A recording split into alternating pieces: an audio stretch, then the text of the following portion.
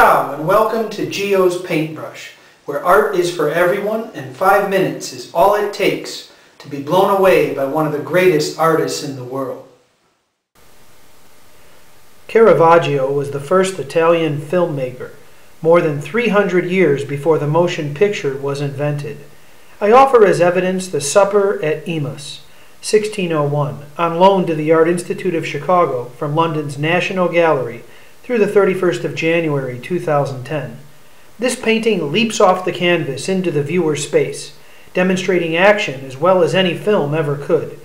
And through Caravaggio's innovative juxtaposition of a deep dark background with rich Italian colors in the foreground and real life models for his work, often Roman street people or friends of his, and this guy ran with a rough crowd, he achieves a level of realism, of believability, that transforms the two dimensional medium of painting into three powerful dimensions, something even film seldom does well.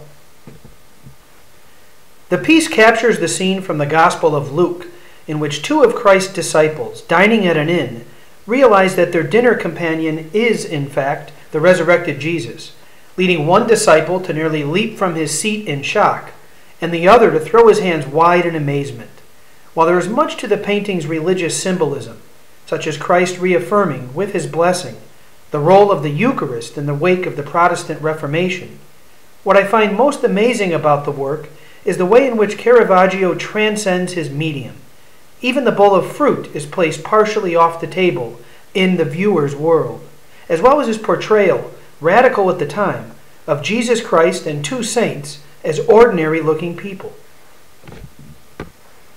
As the exhibit at the Art Institute demonstrates, Caravaggio's influence ran far and wide, impacting not just his contemporaries and followers, but painters for generations to come from around the world.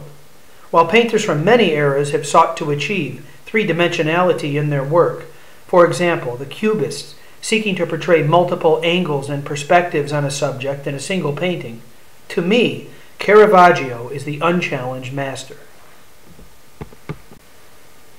While the strategies Caravaggio employed in his work are no longer radical, to say that he used artist tricks to achieve his ends is like saying that Steven Spielberg relied on special effects in his movies.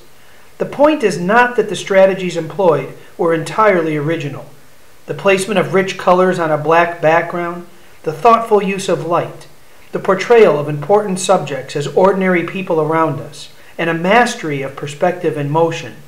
It's that no one could employ these strategies better than Caravaggio in 1601 or today. If you get the chance, check this one out. Thanks for joining us.